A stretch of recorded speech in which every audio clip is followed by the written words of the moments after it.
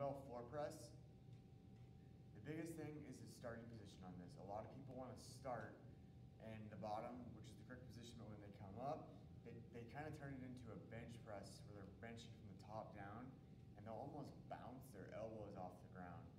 A true floor press is designed to be started from the bottom up. So you want to make sure when you come down every single time, you're essentially resetting but not losing the tension, if that makes sense. We don't want to bounce because we don't want to drive our elbows into the ground, especially when you get, start to get a little bit heavier weights because you're going to have a, a load that's smashing your elbow into a, a pretty firm surface.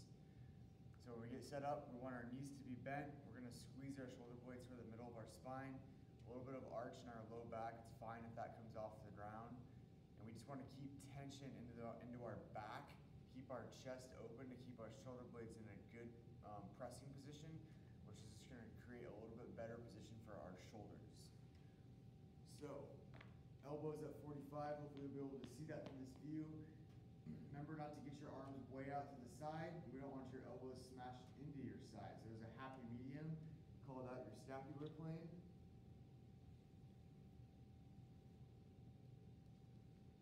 So shoulder blades pushed into the ground, squeeze toward the middle of your spine. My low back is slightly arched off the ground. I got my head on the ground, and then I'm gonna drive the weight toward the ceiling and push my back into the floor at the same time all the way back down to the ground. I have tension in my chest still, but my elbows are resting on the ground, and then I'm gonna press back up.